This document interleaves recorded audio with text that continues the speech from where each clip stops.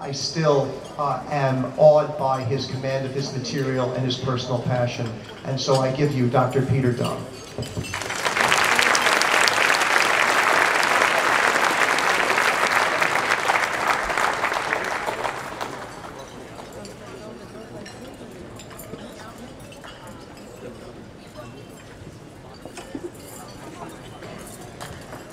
Okay, so um, I need to start with a disclaimer.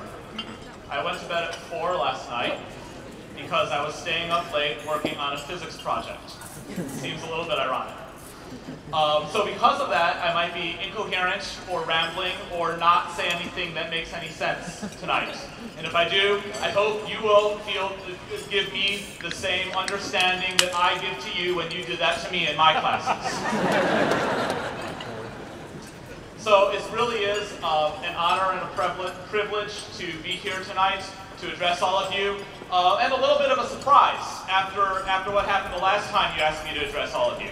Uh, parents, you might not know this. Uh, about a year and a half ago, they asked me to come talk about research ethics, and instead of talking about research ethics, I instead insulted them for about an hour. Um, but they still asked me to come back, and for that I'm very grateful. Um, I would say that this shows something about this class that, um, that you guys are able to handle the truth, right? That you're able to take hard truths and listen to them and not uh, run away from them. So I've decided tonight I'm going to tell you the truth. Um, not all of it. I'm going to tell you the truth about what awaits you after you graduate from IMSA and maybe more so from college. Um, I don't know. Normally in these speeches, we just talk about all the great things you have ahead of you, all the wonderful stuff that you have, and that sort of leaves out, I mean, the great, wonderful stuff is like 5% of what actually happens, right? So we need to talk about the rest. All right, now to do this, I need to talk about an important and touchy subject. Um, it's one that people don't like to talk about a lot. Um, that might make some people uncomfortable, but it's, it's a fact of life and something that we should talk about.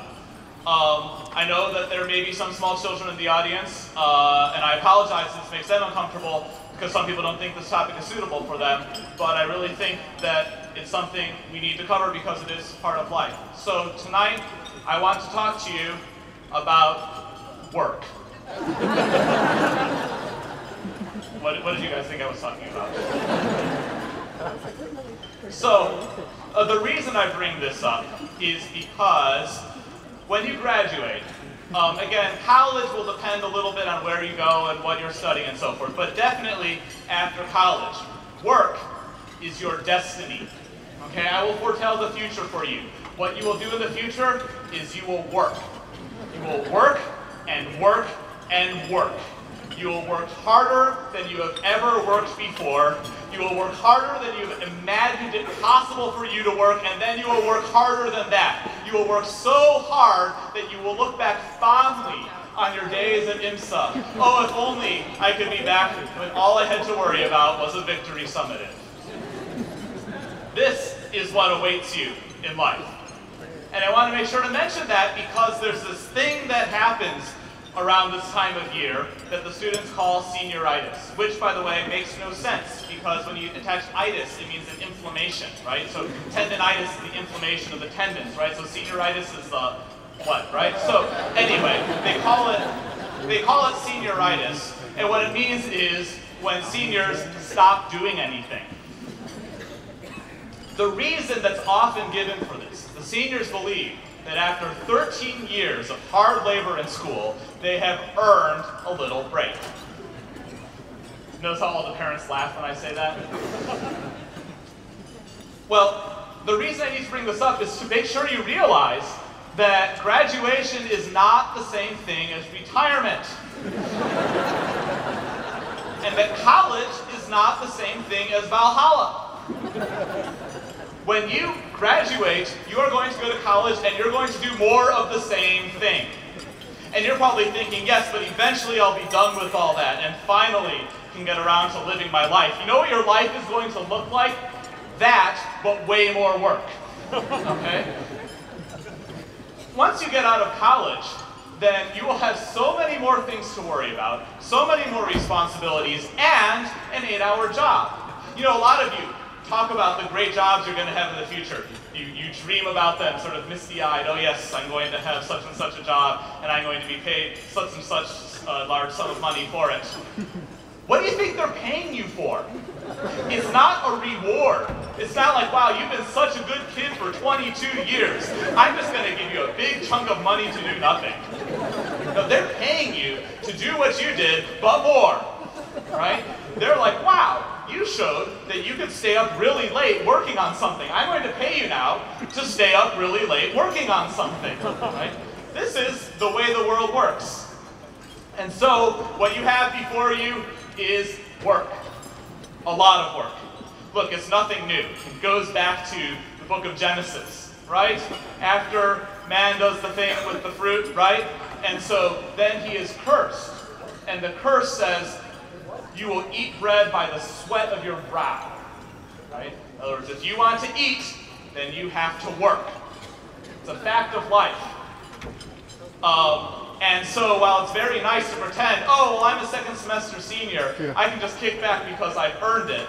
The fact is that you hopefully have a lot longer to live still, and you need to spend that time working. It's very nice to, to imagine that you could avoid that, but uh, you don't get to retire yet. You have to keep working. All right, so, uh, so why do I bring all that up? Oh my goodness, why do I bring all that up? Because I'm forgetting what I was going to say. Give me a second. right. So, why do I bring all that up? Uh, part of it is remember to get more than two hours of sleep in a night so that you can remember your speech. Okay. Um, the reason we need to talk about work is because you're going to go off into the workforce, right? So now you're saying, oh, I know what Dr. Dong's going to be saying. Dr. Dong's saying that work is its own reward, right? Hard work is its own reward. That is completely false. Hard work is totally not its own reward. It depends what you do. If you don't believe me, try this. Go into IMSA, take every chair and move it manually next to the hamster ball. And then when you're done, take them all and move them back. It will be a lot of hard work, and it will be totally unrewarding and pointless, right? So, hard work is not its own reward. Hard work really depends, or if you don't want the manual example, do this. Take out and write out longhand all the numbers from 1 to 100 million. It will take a lot of hard work and you will gain nothing from the experience. So no, hard work is not its own reward. And just because you're doing work does not mean you're doing something worthwhile.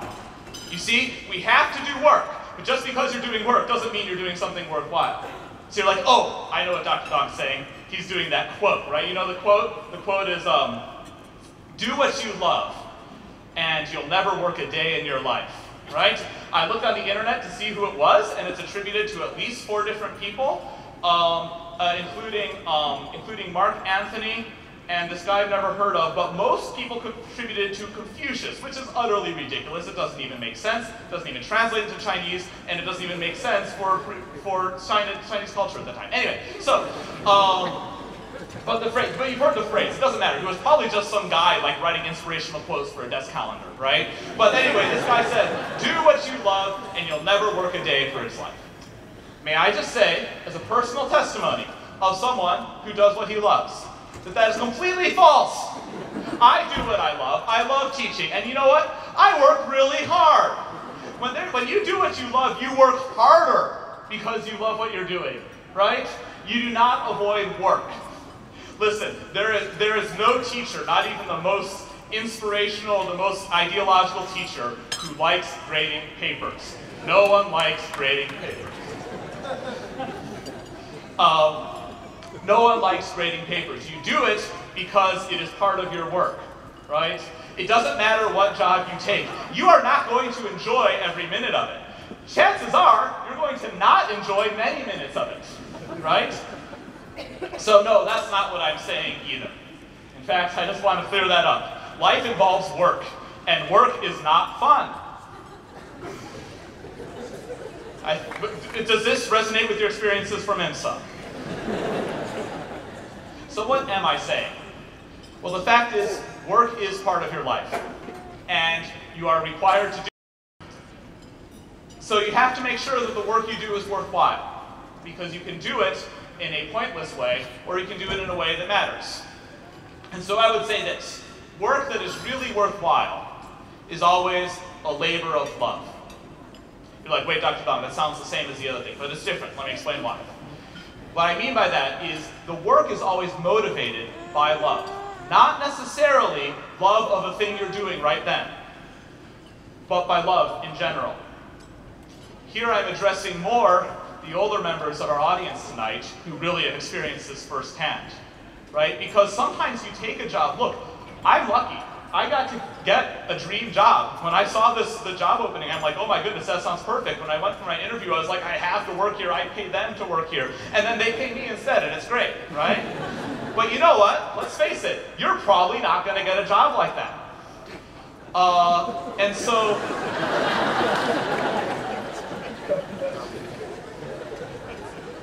so, if you're not going to get a job like that, what does that mean? Oh, well, I don't love this, so I'm going to quit. Doesn't work that way. You have to get a job. Why do you have to get a job? Because you have to eat. And more so, because you're... you have to eat, and more so, because your family has to eat. Right? And so you have around you many living testimonies of people who have taken jobs that did not excite them, that did not fill them with passion every day, but were simply a way to earn money so that you could eat. Right? This is what it means to have a labor of love. You may have a job that really is great, and I hope you can find such a thing. You may not be able to find such a job. You still need to get a job. But whatever it is you're doing should be motivated by love. Love of what you are doing, love of the cause you are working for, right? Love of what is right, and love of your family. These are things that should motivate your job. Well, why do I bring that up? Well, because I know what the job market looks like for bright young people. Because I like to think of myself as a bright young person, even though I am now old. Um, I mean, by your standards. Um, but, but I know what, what happens when you're finishing college. The job prospects are out there, and all of your friends will be evaluating the jobs more or less the same way they evaluated colleges. That is, you look at the numbers and you rank them and you pick the highest one, right? So uh, you look at what you get from the jobs and you look at the salaries and the highest salary, that's the one that you take. I want to warn you against that because often they pay you a high paying job to do things that no one else wants to do. Why else would they pay you so much? Right? So um, when you have these job offers out there, you need to consider what I'm doing should be something for love. Now there is a sort of basic thing, I need to have some job, right? But beyond that, is this something I enjoy doing? Is this something that is worthwhile? Is this something that advances the human condition? Is this something that's going to allow me to provide for my family? These are things, real questions, that should motivate your job decisions. The other factors, like how much money you make, don't matter. Because once you get money, you have to spend it on something. It's no good by itself, right? No one like sits around and looks at green pieces of paper. So you have to spend it on something. What are you going to spend it on? That is the motivation, right? So the first thing is, your job should be motivated by love. You don't have to love your work, but you should love something that makes the work worth it. All right, that was part of it. Number two is the flip side of this. Let's suppose you do find your job. This is the other thing I see. You know how your friends tell you things about what you need to do to get into college? For example, you have to take, whatever, AP Chemistry. If you don't take AP Chemistry, you'll never get into University of Chicago. Now, are there people out there who've taken AP Chemistry and gotten to University of Chicago? Yes, there are. So where did that thing come from? Well, it's something that someone made up. It's not actually a rule, it's just something that your friends tell you. Not that they've ever been to college or anything, right? But they just tell you anyway, and there are these, these things that spread around in the culture. Oh, you have to do such and thing, such and such to go to such and such a college. Well, you know what? You're all into college now. Congratulations. Never have to do that stuff again. But you're going to get the same thing when you're talking about when you're going to be in the workplace. Because in the workplace, People will tell you things, especially if you're in the high profile, high paying jobs. People will say things that are made up, but that are part of the culture. And in particular, they will say that you need to work more. You need to spend more time in the office. You need to spend late nights. You need to log in at 2 in the morning to show how hard you're working. If you leave earlier and then that person does, then you'll be the first one to be fired. You'll hear this, and the general result of this is a culture of people that say if you're not working 12 hour days, then you're not working hard enough.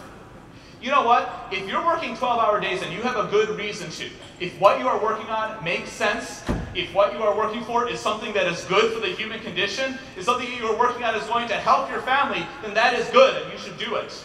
But if you're working 12 hour days for no reason other than a vague sense that you ought to be doing it, there's a problem.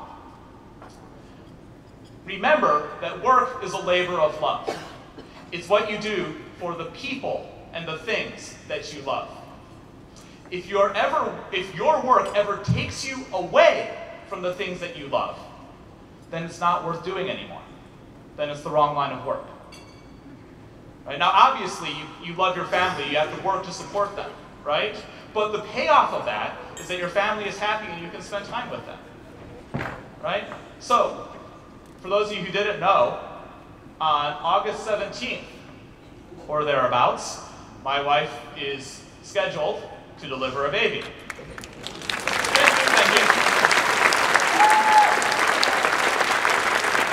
Clap for her, not me. She does all the work, right? Um, on August 19th, anyone know what happens?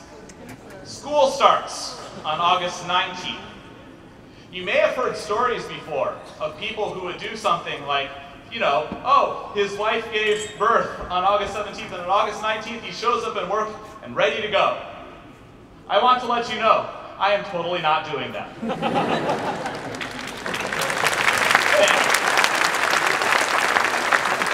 August 19th, I fully intend, well, I mean, we can't schedule these things exactly, but assuming the baby comes around then, I totally intend to be taking care of my wife and my child.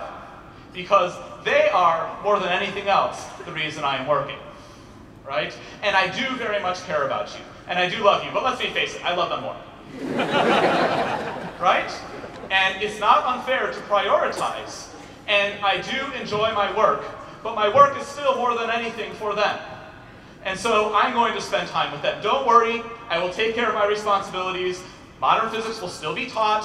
It will be okay, right? I've, we've worked out a plan. But the point is, you will receive a lot of pressure, especially when you have or are thinking of starting a family. Actually, it's worse when you're thinking of starting a family. If you go into academia, people will tell you, uh, you probably shouldn't get married yet. Because, you know, you're going to be moving around a lot, and it might not be good, might not work out well. So maybe you shouldn't get married right now. You're really busy. Then when you're in a postdoc, they'll be like, uh, don't have kids until you have tenure. Get tenure first, then you have kids. That takes you to your 36 or so, right? Um, right? They'll tell you that. People will say that because it's a bad career move, right? You have to remember the reason for your job, right? Hey, let's face it. I know I'm talking about like foreign territory. Look, statistically speaking, most of you are going to have a family, right? So don't pretend it's not going to happen. You need to consider this, right? When you are choosing a job and when you are working for your job, you have to be willing to say, all right, I'm going to stop working now because I need to be with what's more important. Because it's easy to forget what's important in life. At the same time, you need to do a lot of work. Because here's the other thing. I make it sound like work is work and going home with your family is play. It's totally not, right? Everyone knows this. There is nothing you have done in your entire life that is anything close to as much work as the arduous, impossibly difficult task of raising a child to the age of 18. I respect the different of people applauding this time. Okay? There is nothing that compares there is, there is no sleeplessness that compares. Because let's face it, your sleepless nights are self-inflicted self by League of Legends, okay? But, but when you have children, you have no choice. And guess what? You raise the child for 13 years with all kinds of sleepless nights, all kinds of last minute emergencies, all kinds of, you spend eight hours a day working and then you come home and what do you have to do? Work. You have to work at raising a child. It is not a cakewalk. And you have to do that every day and you don't get to give them to someone else on weekends. And you work there and you work for 13 whole years and you do not get to take May off. Right? You have to keep on going. In some sense, all of work, I think, is a preparation for raising a child. It is the most difficult task imaginable, and also the most thankless, because by the time you're done with it, your kids are all surly teenagers, and all they can talk about is how they want to be as far away from home as possible. so, you know, kids, maybe I appreciate that, and you don't have to change your plans, but you should also maybe take a moment to say, thanks for all the work. Go ahead.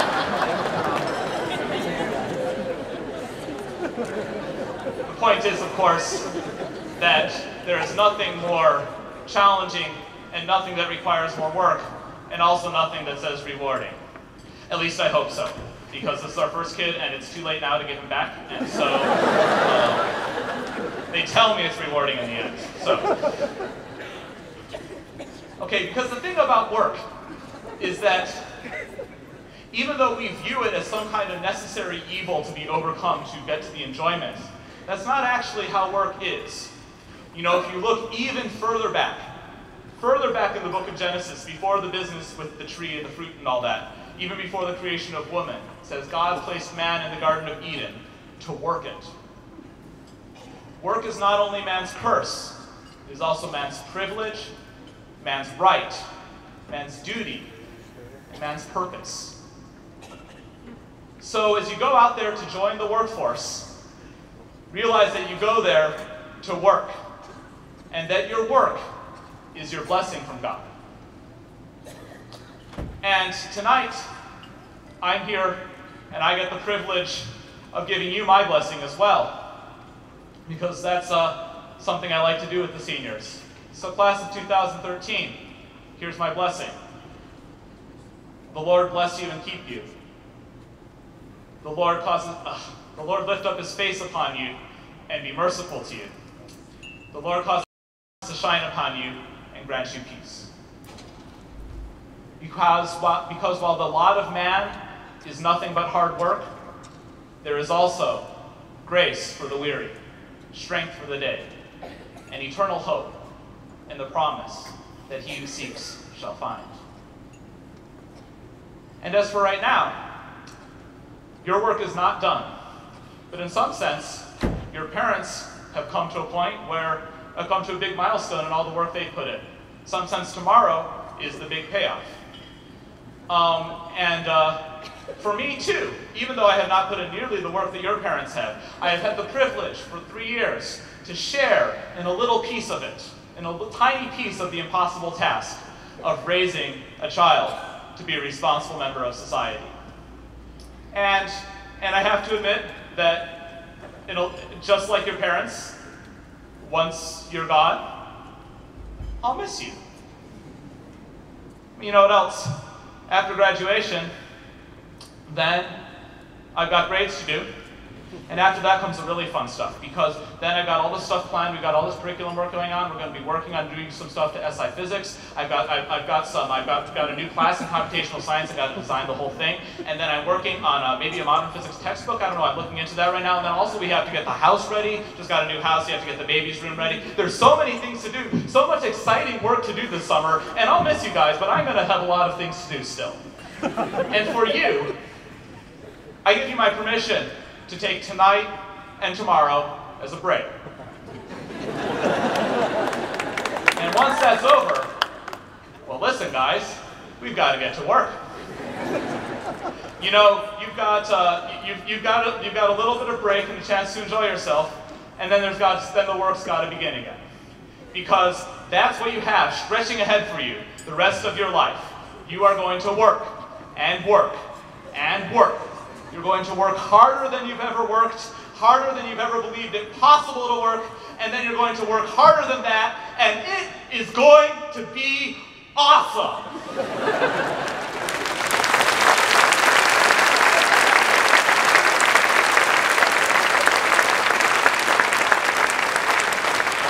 class of 2013. Congratulations.